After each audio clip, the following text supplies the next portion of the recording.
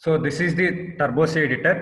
See, if you come across any doubt, uh, after I execute some programs, you can uh, put in a chat box because in the middle, if you try to chat, uh, so some markings may appear on my screen. So it, it may be disturbance for me. Okay. Okay. So this is the Turbo C editor. So which I have opened. So now let us execute some programs. So what we have discussed in the uh, previous classes. Okay. So when I started with first program, so what I said is like just if I add the main word, main function, okay, with opening brace and closing brace.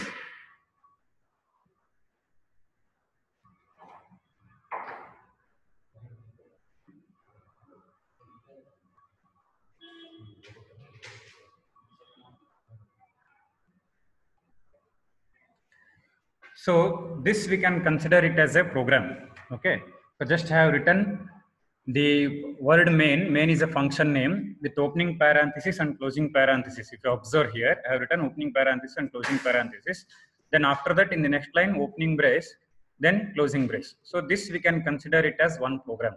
So when you type this program, so next step what you have to do is to save the file. Okay. So I hope you people know, like in MS Word, Notepad, MS Excel, you people have saved the file. Similarly, here also, see there is a there are menus. If you observe on the top uh, top side of the screen, so there are menus: file, edit, run, compile, options, window, help. In that way, okay. So in two ways you can do. With the help of mouse, you can go to the file and click on save, save as or save, uh, or else from the keyboard also you can do Alt plus F Alt plus F will open the file menu. So it's very simple. You just press Alt key, whichever menu you can you can open.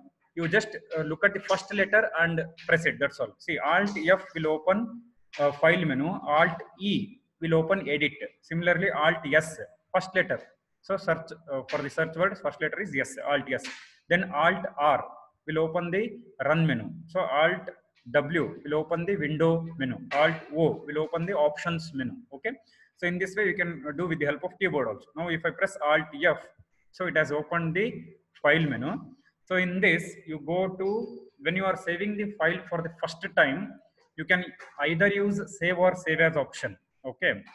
So when you are saving the file for the first time, you can use either save or save as option. So once we press the save or save as, so it will open the dialog box okay one window we can consider okay so here you need to save the file see in whichever path you want you can save so here i am saving the file in uh, tc folder in that bin folder because whenever i want to access this file it will be easy for me so only i'm saving so you people also when you save the file you see that after you close the close this turbo c editor wherever you saved the file, it should be easy to access for you.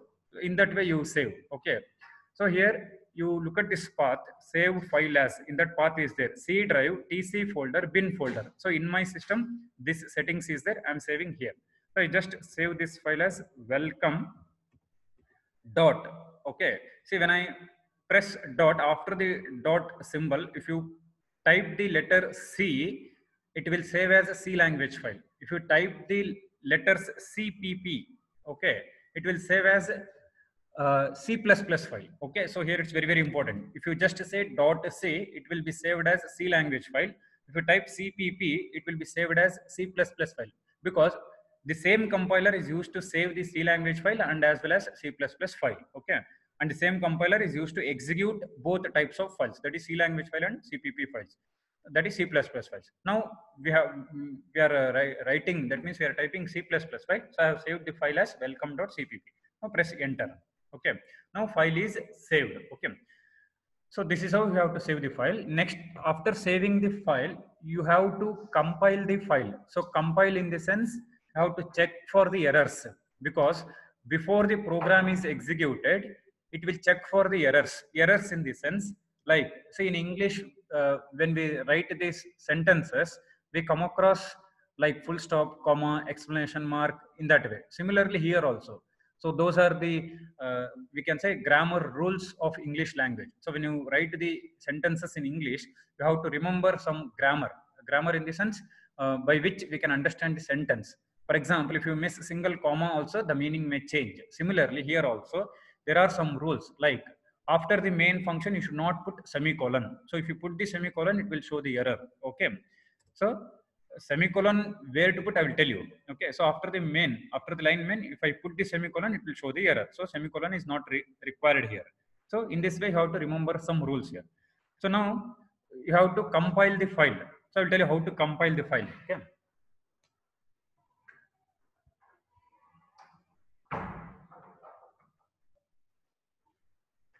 See to compile the file either you can go to the compile menu or with the help of keyboard we have some keys. Uh, that is see simultaneously you can note down uh, in your notes.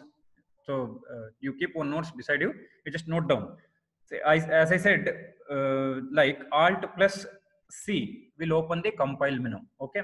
See on that we have the option alt f9 okay? So when you open the compile menu press enter key so it will compile. Or else you can just say alt f9 alt key plus F9. So actually in my system, uh, I have not made the settings like that. So it will not work. But in your system, it will definitely work. You can try it. So here what I do, with the help of menu only, I will open. So alt C, so it, it opened the compile menu. So you see the highlighted color. Okay. So for whichever it is highlighted, that will open. Okay. Now for the word compile, it is highlighted. Press enter key. So this is called compilation. Please do not touch the mobile screen.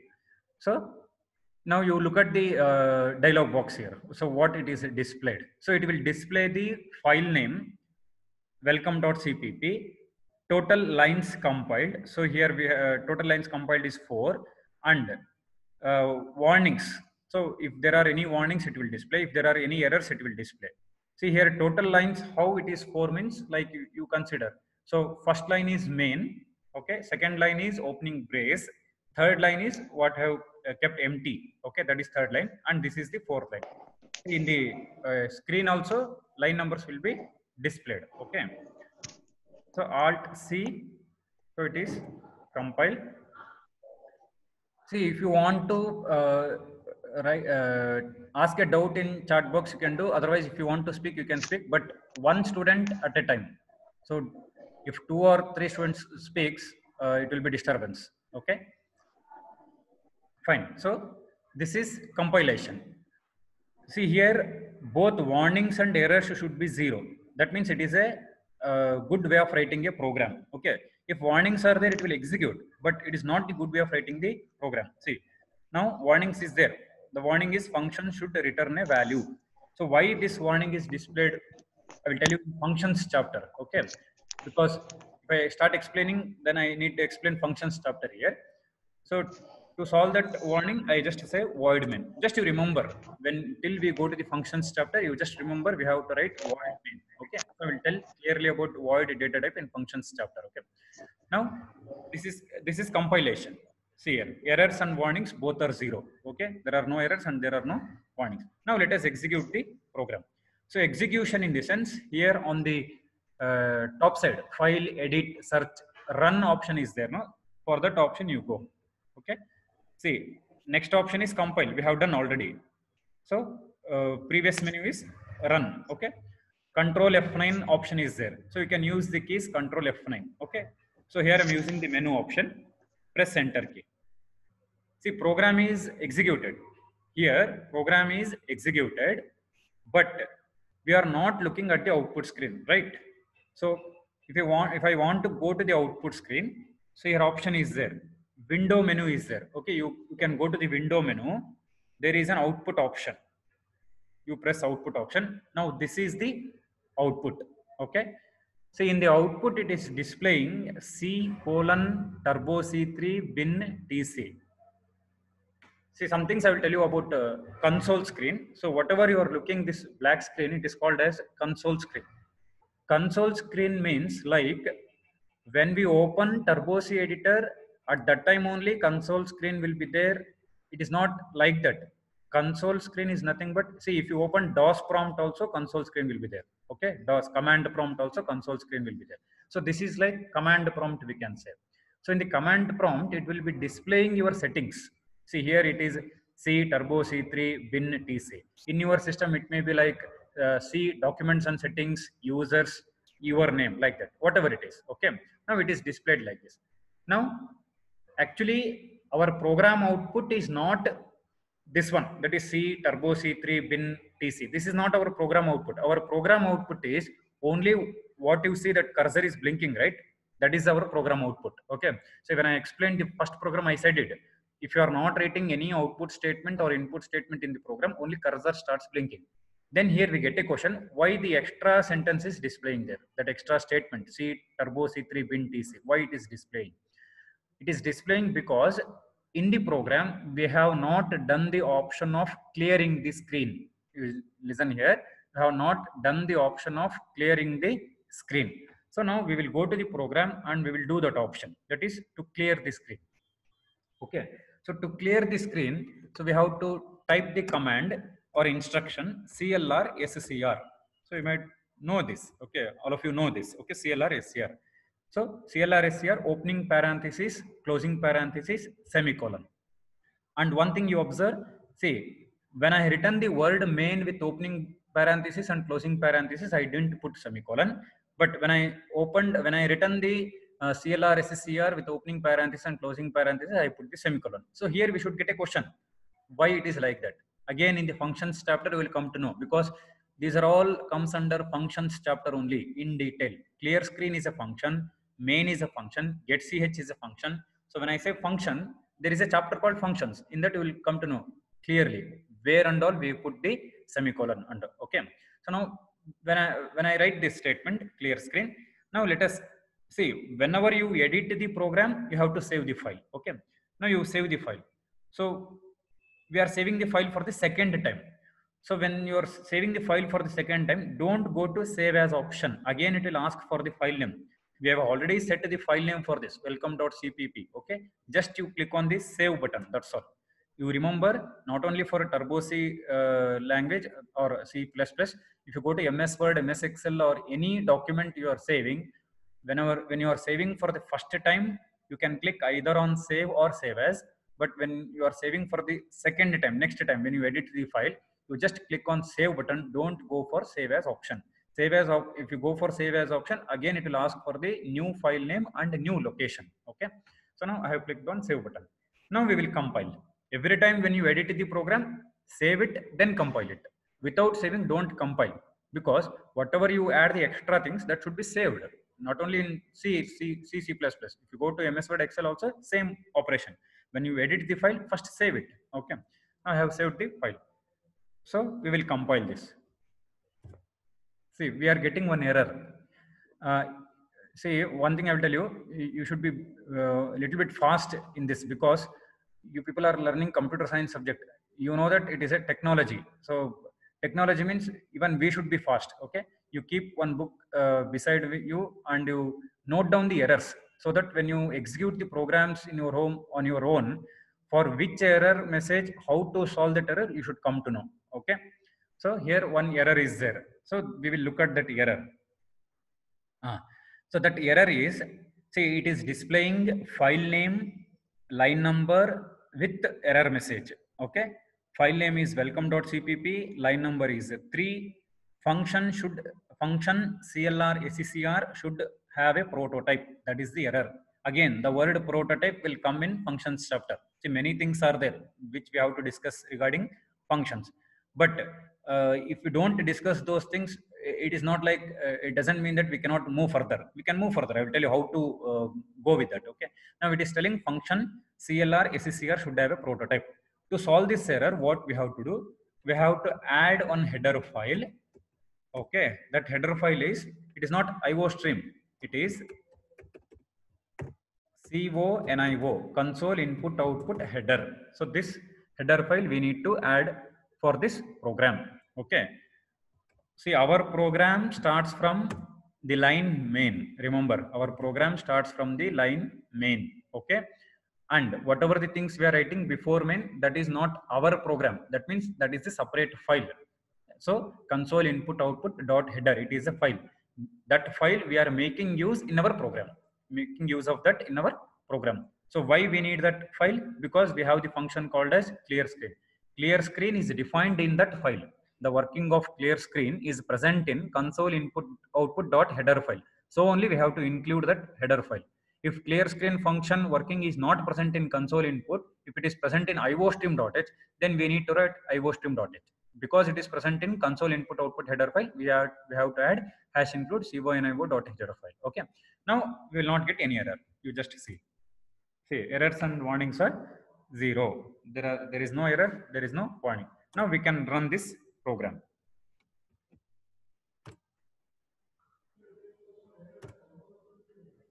see program is executed okay?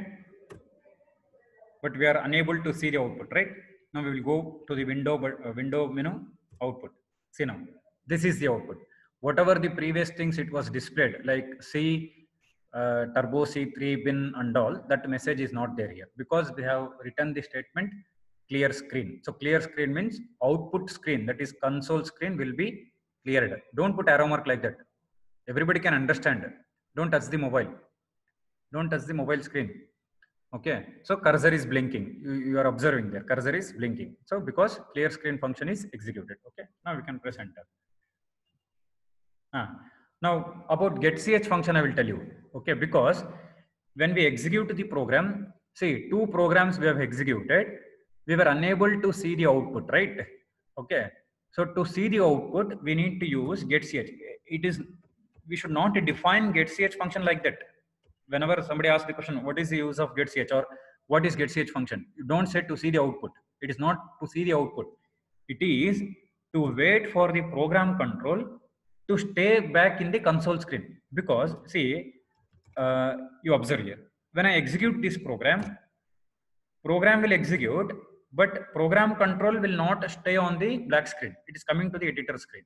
In previous two programs only, that was the problem. That is, if I don't use the getch function, okay, when I execute the program, program will execute, but it will not stay back in the console screen. Okay, it is, it is coming to the editor screen. Again, what we have to do, we have to go for the window button, window menu to look at the output. Okay, so now if I want the program control to stay back in the console screen, we have to use get ch. The meaning of this is get the character. So this is also function only. Get ch means get the character. CLR SCR means clear the screen. Okay, these two are functions.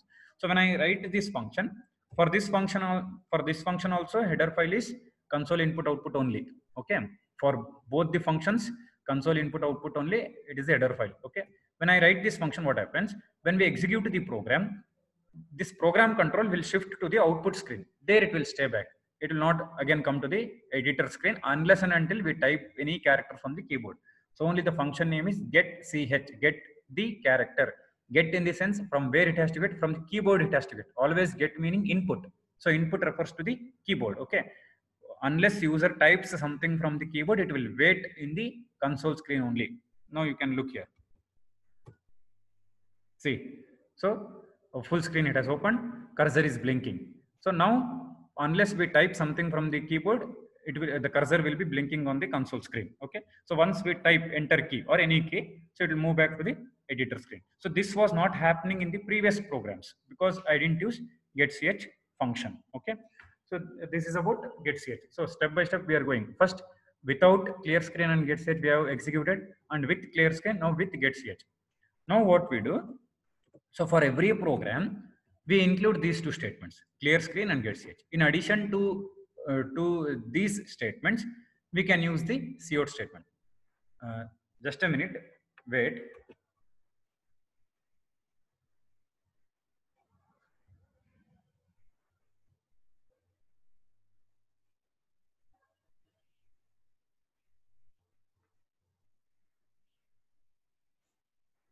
Fine. Now we will execute some programs related to cout statement. Okay. So in the previous class, I was telling like, uh, if I want to write example for cout in the paper or in, if you if you're writing in the exam or if you want to show to somebody, you need not write full program. So uh, in the previous class, I, I have written some examples. Okay. In those examples, uh, I have not written full program, right? Okay. So just cout statement. But if you want to look at the output, if I want to look at the output means, then we have to execute the programs in computer, right? PC. So in, in this case, just by writing cout, it will not work. Say for example, uh, see if I delete all these lines, okay? Okay, just I write cout, say welcome. This will not work because it needs main function to execute. Cout statement needs main function to execute. And also one more header file is required. That header file is nothing but iostream.h. IO means input output. Understood? So when we write in the paper or in the exam, if they ask, write some examples for cout, write two examples for cout. There you need not write full program. Just to write the part of the program, just you write this, uh, uh, just a minute. So just you write this program and below below the below this uh, code you can write the output. So in exams and in uh, paper. But when you execute in the uh, system, here we need to type full program. So first header file is iostream.h. Okay. Next header file is okay. Now you should know for what purpose we are using this. See, iostream.h we are using for cout and cin. Okay. CONIO, console input output header file we are using for clear screen and get ch. Okay. Here. Welcome. Get ch. So in every program, you just include clear screen and get ch. Okay. If you don't include, it doesn't mean that program is wrong. It is correct only. But clear screen will uh, clear the output screen and get ch will wait for us to type something from the keyboard on the console screen. Okay. So now we can execute this program. See, uh, one more thing, like I will delete this line and I will show it to you. So what error we will get it. Okay. Because I used cout statement, right? Uh, see, error message is displayed. Okay. That error message is undefined symbol cout. Cout means console output. So undefined symbol in the sense, uh, the compiler is not getting the working of cout. It is not getting how to work with that because cout statement working is present in iostream.h and that iostream.h header file line we have not written. So only compiler will show this error. So to solve this error, what we need to do, we have to write the header file called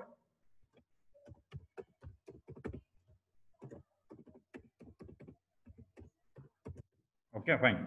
So now you save the file, you compile the file. Next thing, execution, alt R run. See, welcome word is displayed. Okay. So to this program only, I will add one more header file. Sorry, one more cout statement that is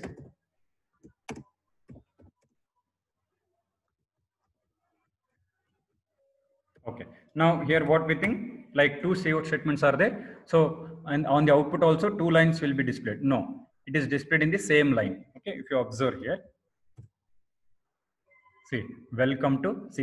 It is displayed on the same line. If I want in two different line, then in the first cout statement use backslash n or end l so you have to write one more time insertion operator, then you have to write endl because welcome is a string, endl is the manipulator. In order to separate between uh, string and manipulator, we have to use insertion operator. So endl means end the line. End the line in the sense, not in the editor. In the console, it will end that line and it, will, uh, and it is displayed on the next line. So if you are including in the string itself, see backslash n is string only. If you are including in the string itself, then no need to add one more time insertion operator, then backslash n. Both are strings.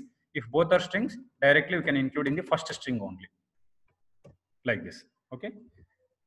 Now you look at the output. See, welcome. Uh, below that, two C++ is there. See that two word is displayed uh, by leaving some space because in the cout statement I have written like that.